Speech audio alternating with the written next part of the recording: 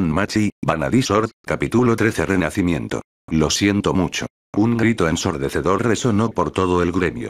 El responsable era un aterrado albino que se encontraba de rodillas y con la frente en el suelo pidiendo perdón. Frente a él, con los brazos cruzados y una expresión aterradora, una semielfa miraba con frialdad al pobre chico. Los trabajadores del gremio y los pocos aventureros que se encontraban en el lugar veían la escena con una mezcla de temor e ironía. Todavía no podían entender cómo alguien que se adentraba en el calabozo como si fuera un juego, que enfrentaba a incontables monstruos sin mostrar miedo alguno, con la valentía suficiente para irrumpir en la sede de una familia y darle una paliza a todos los que se encontraban ahí. Aquella persona que muchos temían por la aterradora aura que emanaba y su poder abrumador. En estos momentos era como un pequeño conejo asustado frente a una mujer que ni siquiera tenía falna. Una y otra vez, te digo miles de veces que no te metas en problemas, pero no escuchas, dijo Eina.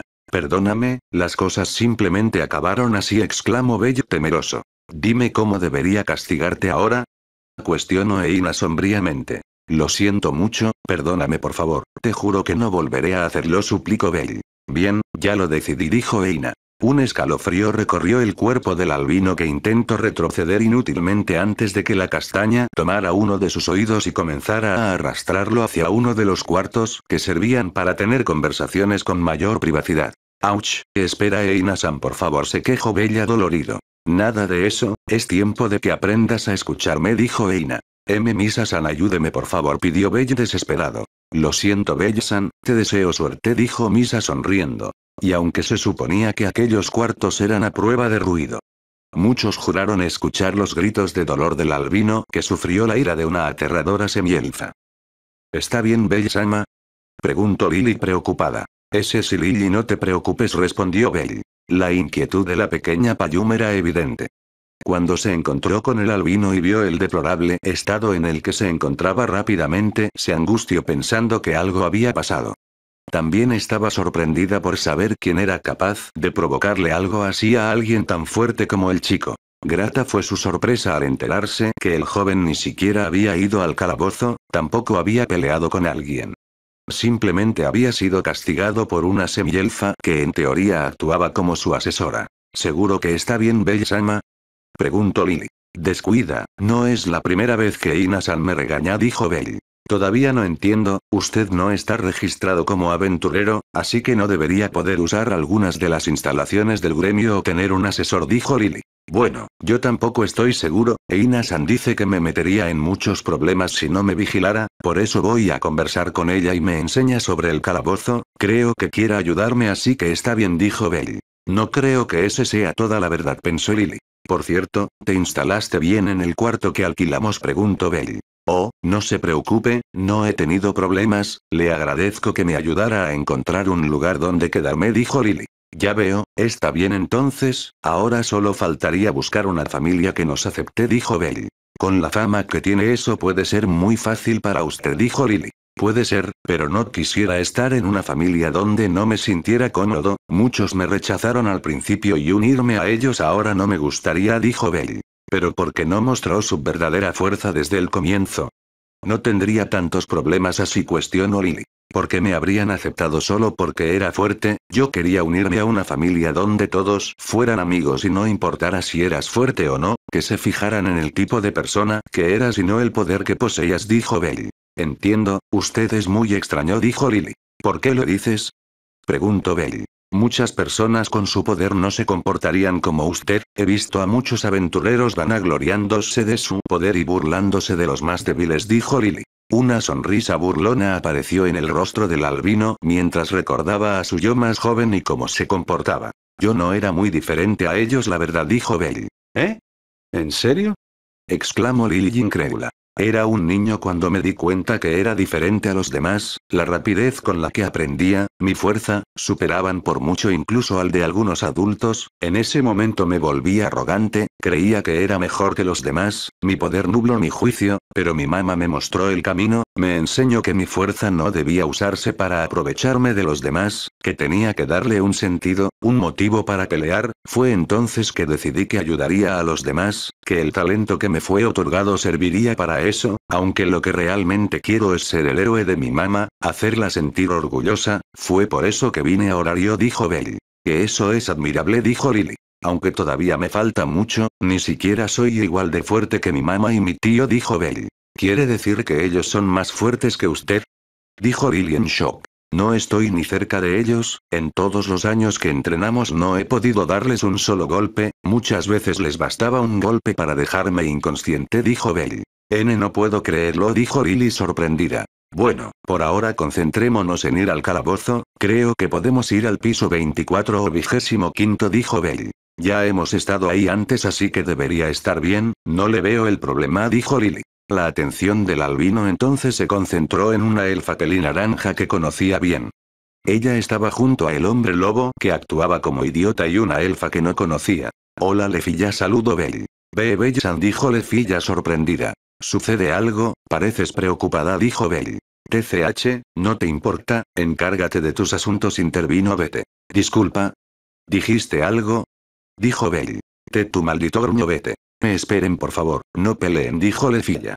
TCH bufo vete. V vera Bellesan, dijo Lefilla. La inquieta elfa le contó al albino que una de sus compañeras había aceptado una misión del gremio y que debido a las irregularidades que se habían detectado en el calabozo su diosa había tenido un mal presentimiento por lo que los había mandado por ella. Ya veo, también escuche los rumores dijo Bell. Así que por eso vamos para asegurarnos que todo salga bien dijo Lefilla. Lo siento Lily, tendremos que cancelar nuestros planes de hoy dijo Bell. ¿Eh?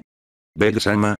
No estará pensando, dijo Lily. Sí, los acompañaré, algo me dice que pasarán cosas interesantes dijo Bell. No es asunto tuyo idiota, no te metas dijo Vete. Lamentablemente para ti, estoy más involucrado de lo que crees, así que iré con ustedes dijo Bell. TCH, haz lo que quieras, pero será mejor que no estorbes dijo Vete. Bien, Lily, espérame en donde cenamos siempre dijo Bell. De acuerdo, le deseo suerte dijo Lily suspirando. Vamos entonces, el tiempo apremia dijo Bell. Con una sonrisa nerviosa de la elfa Kelly naranja, un gruñido molesto y una mirada analítica de la elfa Kelly negra el nuevo grupo se adentró en el calabozo. Bien, ya terminé. En cierta cabaña en el bosque. Una mujer castaña miraba sorprendida lo que acababa de suceder. Sentada de espaldas a ella, con una expresión aburrida otra mujer soltó un suspiro. ¿Y bien puedo ver los resultados? Dijo Alfia. Toma, esas son tus estadísticas, dijo Era. Luego de su feroz batalla con cierto dragón y después de bañarse con su sangre para recuperarse. Lo primero que la peliplata había hecho era dirigirse con su diosa y actualizar su estado. Y tal como se esperaba de quien era conocida como el monstruo de Tarento los resultados eran completamente anormales. Alfia. Nivel. 7. Estadísticas. Fuerza. SS 1091. Resistencia. SSS 1319. Destreza. SSS 1098. Agilidad. SSS 1338. Magia. SSS 1359. Magia. Satanás Berión. Magia de canto super corto. Silentium Eden. Magia de canto super corto. Genos Angelus. Magia de canto largo. Habilidades. Mago. Mejora el poder de la magia, amplía el alcance de efecto y hace que el uso de la mente sea eficiente. Resistencia anormal. Niega el efecto de anormalidades. Cazador. Cazador mejora las habilidades contra monstruos con los que previamente haya luchado y obtenido su excelia. Curación espiritual. Comienza a regenerar la mente automáticamente después de usar magia. Resistencia mágica. Reduce el daño producido por ataques mágicos. Match Grid. Incrementa la velocidad y fuerza mientras se mantenga en movimiento. Combo Star. Aumenta la fuerza de los ataques de forma indefinida siempre y cuando golpee con precisión. Oh, no pensé que resultaría así, dijo Alfia. Te enfrentaste al dragón negro y sobreviviste, naturalmente tus estadísticas subirían mucho, dijo Era. Más que enfrentar diría que me dio una paliza, dijo Alfia. Como digas, en fin, esas eran tus estadísticas antes de subir de nivel, dijo Era. HMM, no me digas que, dijo Alfia. Sí, felicidades, ahora eres nivel 8, dijo Era. Sacando una segunda hoja, la diosa le mostró el texto escrito a una sorprendida peliplata. Alfia. Nivel 8. Estadísticas. Fuerza. 0 y. Resistencia. 0 y. Destreza. 0 y. Agilidad. 0 y. Magia. 0 y. Magia. Satanás Berión. Magia de canto super corto. Silentium Eden. Magia de canto super corto. Genos Angelus. Magia de canto largo. Habilidades. Mago. Mejora el poder de la magia, amplía el alcance de efecto y hace que el uso de la mente sea eficiente. Resistencia anormal. Niega el efecto de anormalidades. Cazador. Cazador mejora las habilidades contra monstruos con los que previamente haya luchado y obtenido su excelia. Curación espiritual. Comienza a regenerar la mente automáticamente después de usar magia. Resistencia mágica. Reduce el daño producido por ataques mágicos. Match Grid. Incrementa la velocidad y fuerza mientras se mantenga en movimiento. Combo Star. Aumenta la fuerza de los ataques de forma indefinida siempre y cuando golpee con precisión. Limit Breaker. Eleva las estadísticas temporalmente en una situación desesperada. Fin del CAT 13, Dan Machi, Vanadisord, capítulo 14 Pasado y Verdad. Hola mi hermosa gente de Wattpad, hemos vuelto con un nuevo capítulo, ya saben que si les gusto, les saco una sonrisa o los entretuvo, pueden regalarme una estrellita, no saben cuánto me motiva a seguir con esto. Bueno, sin más, vamos con el capítulo. Esta es la historia de cierto chico con un sueño que muchos llamarían ridículo. Buscando acabar con la carga de quien consideraba su madre se impuso un objetivo. Conseguiría lo que se creía imposible. Se volvería igual que las personas que con grandes hazañas grabaron su nombre en la historia. Entonces se volvería aquello que el mundo anheló por años. El último héroe. Así comenzó su viaje. Lleno de esperanza y alegría. No tardó en conocer a un grupo de chicos. Al igual que él habían dejado sus hogares cada uno con diferentes metas. Inevitablemente los lazos de amistad surgieron y comenzaron un nuevo viaje juntos. Todo parecía ir bien. Los días eran tranquilos y felices. Sin embargo, aquello no dudaría mucho. Un trágico día ocurrió un evento que marcaría al chico para siempre. Cometieron un simple error. Lastimosamente solo eso bastó para que todos sus amigos murieran. Lo peor era que todo había sido culpa suya, fue su negligencia lo que había provocado todo. Esa amarga experiencia acabó con su corazón y lo hizo considerar sus ideales. Nunca olvidaría la ira que lo consumió en ese momento y el pecado que aquello significó. Sus recuerdos serían una tortura desde aquel día. Viviendo en una lucha constante contra el odio y la ira que surgían en su interior y que parecían explotar en cualquier momento. Con la marca de su error grabada en su alma continuó su viaje. Se juró desde ese momento que no volvería a unirse a nadie más. Tomaría el sendero del guerrero solitario para siempre. Ayudaría a quien lo necesitara, pero pelearía solo. No volvería a cometer el mismo error. Bansee. El apodo dado a una elfa que todos llamaban maldita. Cada grupo con el que se había involucrado murió en desafortunados incidentes. Betesan.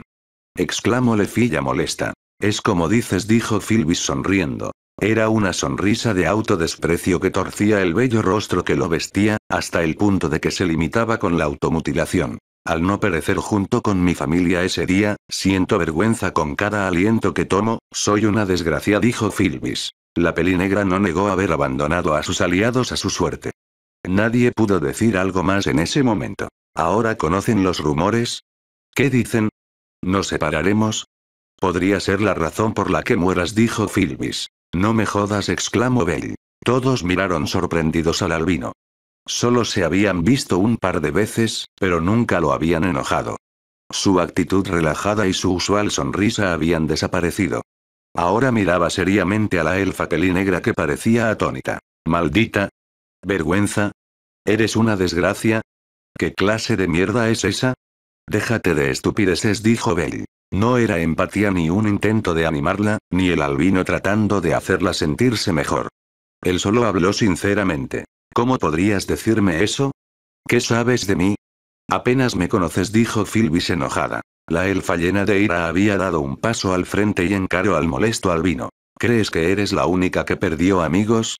¿Que los demás no conocen el dolor y la impotencia de no poder salvar a quienes quisimos?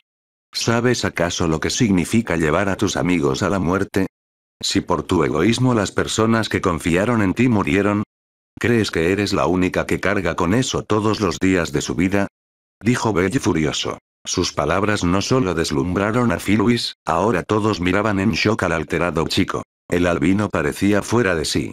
Ambas manos formaron puños con tanta fuerza que una comenzó a sangrar mientras la otra sujetaba la empuñadura de su espada y temblaba, sus ojos parecían brillar como los de una aterradora bestia. Instintivamente todos retrocedieron. Incluso los aventureros que se encontraban alejados sintieron la enorme presión ejercida por el joven y empezaron a temblar. Todo el ambiente se tornó pesado y lleno de tensión. Ahora detrás del chico todos juraban ver a una aterradora criatura que rugía con fiereza. Hasta ahora aquella bestia solo se había mostrado al acecho, su temible presencia no hacía más que alertar del peligro que significaba. Pero ahora parecía liberada, como si el control que el chico tenía siempre hubiera desaparecido. Fue entonces que lo entendieron. La presión que el albino generaba a su alrededor era producto de su ira. Aquel sentimiento de miedo e incomodidad que rodeaba al chico era el profundo enojo que había en su interior. Repentinamente la presión del ambiente se volvió ligera. El albino soltó un suspiro y pareció volver a retomar el control de sus emociones. Vámonos, hemos perdido mucho tiempo, dijo Bell. Dándose la vuelta el joven comenzó a alejarse, pero se detuvo después de un par de pasos y giró ligeramente su rostro, viendo a la peli negra que aún permanecía en shock. Escucha, no eres una desgracia ni eres impura, alguien que sienta la muerte de un amigo como tú definitivamente tiene un corazón hermoso, no dejes que los demás decidan por ti, solo importa lo que tú creas y lo que decidas ser, ni siquiera los dioses importan, la dueña de tu destino eres tú, nadie más dijo Bell. Dejando sin palabras a todos, el albino se dirigió hacia donde había escuchado que se encontraba la rubia. ¿Qué, qué es este lugar?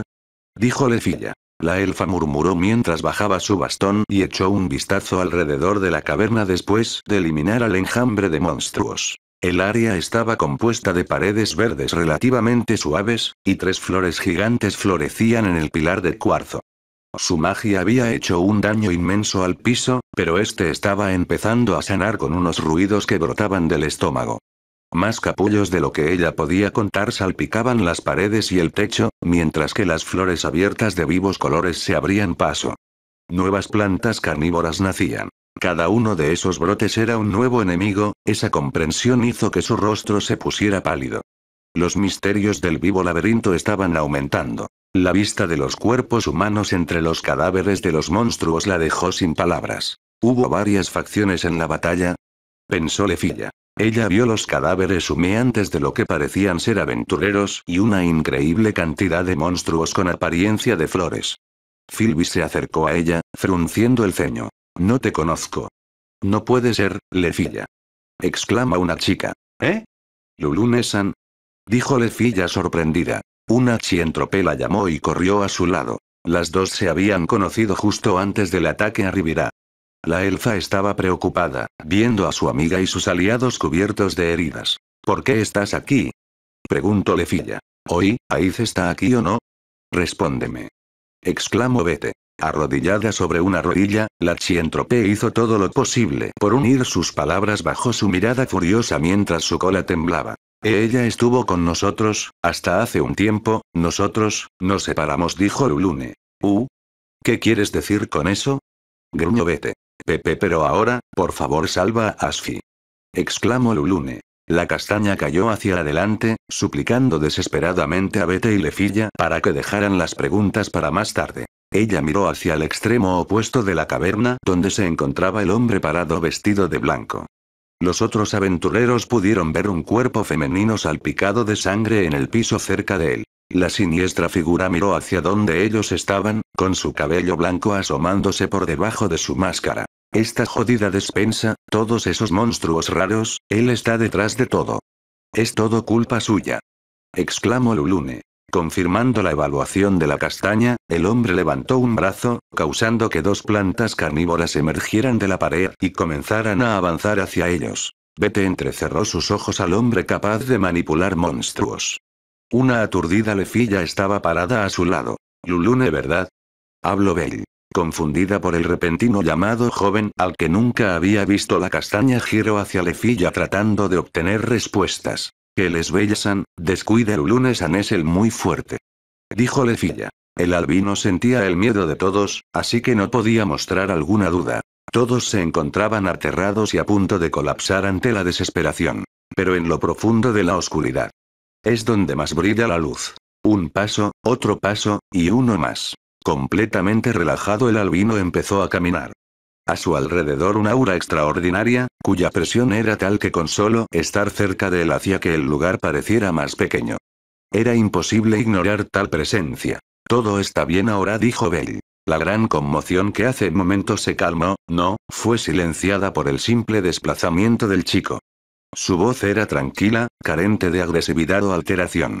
Sin embargo, era imponente, exudaba un gran poder. Incluso las plantas carnívoras que hasta hace poco parecían dispuestas a atacar ahora solamente gruñían y se mantenían en alerta. El enmascarado parecía frustrado por cómo se desarrollaban las cosas y soltó un chasquido de molestia. Maldito bastardo, no te creas mucho, dijo el hombre. De repente el hombre dejó de hablar sacudido por una sensación punzante que había dejado una marca profunda en su pecho. Atónitos, los presentes veían como el albino hacía cortado la distancia con el sujeto a una velocidad irreal y ahora sostenía a la capitana de la familia Hermes en uno de sus brazos mientras en el otro tenía empuñada su espada en dirección del enmascarado. No tendrás tanta suerte la próxima vez, dijo Bell. Tetu, gruñó furioso el hombre. Hoy, mis espadas hablo vete. E enseguida. Dijo Lefilla. Vete no apartó la mirada del albino y el enmascarado mientras le daba a Lefilla una orden. La nerviosa elfa rápidamente tomó la mochila tubular de su hombro y sacó dos espadas gemelas, cada una con un tamaño de 50 centímetros de largo. No dejaré que ese idiota se luzca, dijo Vete. Cargando a la azul de forma nupcial el albino de dio media vuelta y comenzó a caminar hacia Lefilla, Filbis y el resto de la familia Hermes. No me ignores, exclamó el enmascarado. Iracundo por la apatía del albino el sujeto se lanzó hacia adelante dispuesto a golpearlo. Pero el albino ni siquiera se inmutó y simplemente dio un paso al costado revelando al hombre lobo que preparaba una patada giratoria. Ante el repentino ataque el enmascarado se vio obligado a retroceder rápidamente. Encárgate de él, yo protegeré a los demás, dijo Bell. TCH, no es necesario que lo digas, bufo vete. Una sonrisa irónica apareció en el rostro de Albino. Esperaba algo así del integrante de la familia Loki. Ahora solo quedaba prepararse para la batalla a Don Bandos. Fin del CAT 14.